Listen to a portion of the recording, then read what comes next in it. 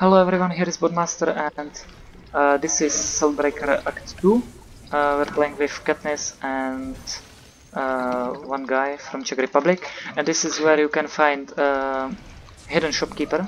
It's after the crypt and you just destroy these trees with Lina or Blade or Tangos or whatever you have and then you go here and you continue through the darkness and here is the place upstairs and here's the hidden bunker so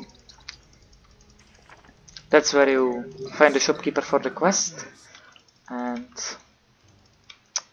of course uh, you have to cut the trees when you get uh, away again.